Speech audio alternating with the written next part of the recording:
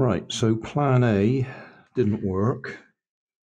Couldn't find any problems on the power input. I haven't tried to take the board apart and check anywhere else, but we are getting power in. Um, before we get too carried away, I will just try taking the drive out and plugging it into my adapter that goes straight into the PC and see what we can see on there. I don't expect to see anything. I expect it to um, be hidden from me because it's um, whatever the word is.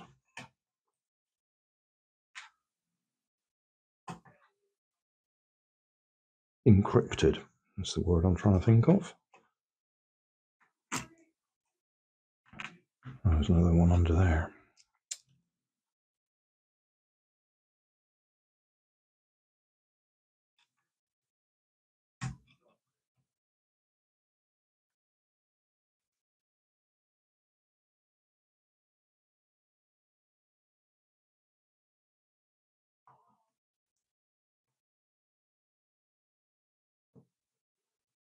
This is very definitely a case of I haven't got a clue what I'm doing.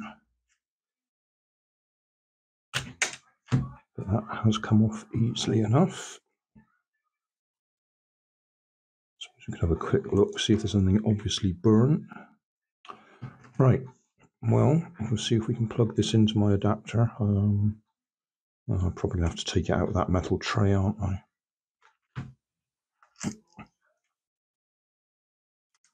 Yes, I bought, I'll show you in a minute, but I bought an external adapter that allows me to um, put, connect hard drives to my PC without actually having to take PC apart.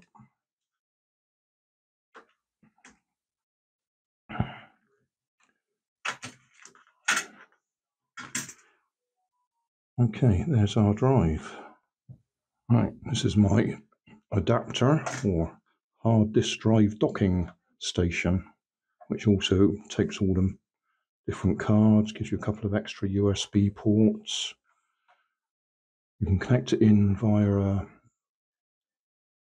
SATA lead, SATA, or USB. Power goes in there, one off switch there, and that just slots straight in there. And you can copy drive to drive from the old style to the new style, or the other way around.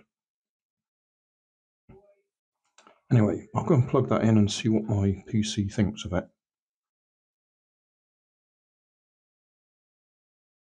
Right, I'm just trying my SD card data recovery program. See what that comes up with. It does say it's going to take 16 hours. Is finding some files, so we'll see what comes up. Well, it appears to have found some stuff. uh, 668893 recoverable files, it says. That's an awful lot.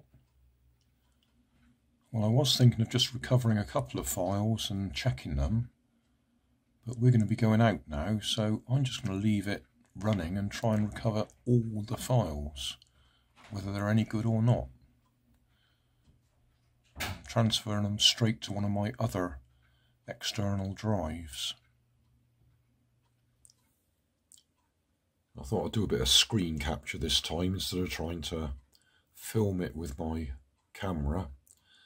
Um, yeah. Some success and some failure. I tried recovering everything in one go. Um, put it into this folder WD My Book Live and it froze after many hours of work and it had recovered 390,657 files. in five different folders. What it does is it puts it in the folders by type. So you've got video files in one folder, um, image files in another folder, and so on. And I think it failed on the image files because most of the files that it was recovering were image files. Uh, this thing's designed to recover from SD cards, or at least that's what it calls it, but it seems to work on any external drive. And the ones that it had recovered were fine.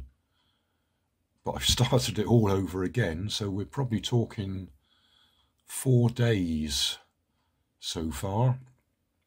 I'm working on this, trying to recover the files. And this time, I'm recovering them by file type. So I'm currently recovering the video files. It says there's 6,106 of them. It's been going for, uh, I don't know, what time is it? It's nearly midnight. It's probably been going for about eight hours. Um, although, no, I did recover, I recovered the music files first. So I've got them.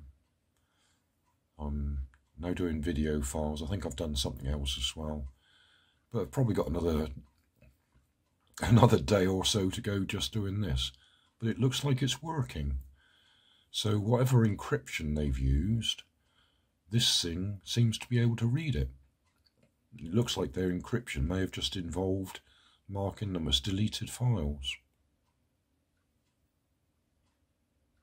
Either that or it's just recovering deleted files, but that's an awful lot of deleted files.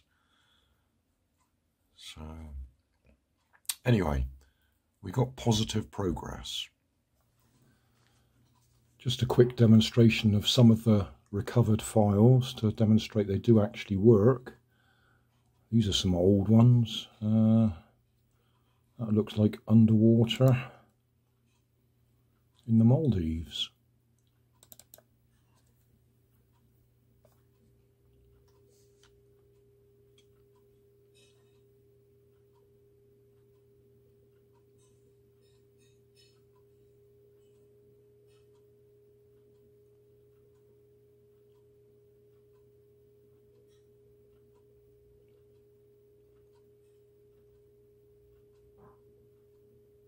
Yeah, that'll do. That just shows one of my old files has been recovered.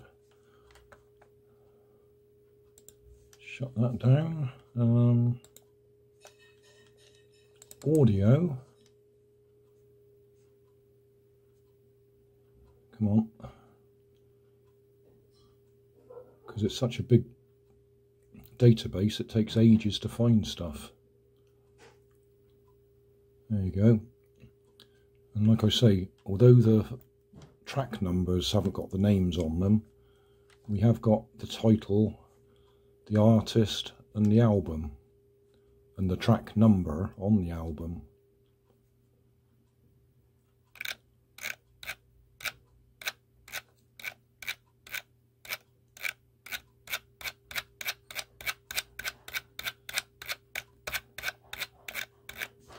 Come on, let's scroll down quite a bit quickly.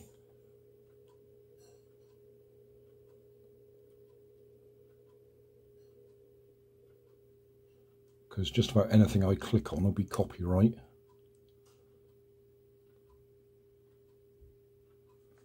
So there's not much point in doing that. Terry Wogan. Yeah, that'll do it seems to have worked. Thanks for watching. If you want more information, check down below in the video description. If you like this video, you might like this one up here. And if you want to subscribe, you can check out my channel over here. Up here is my latest video on my channel, and down here is a video playlist associated with the video you've just watched. Thanks again for watching.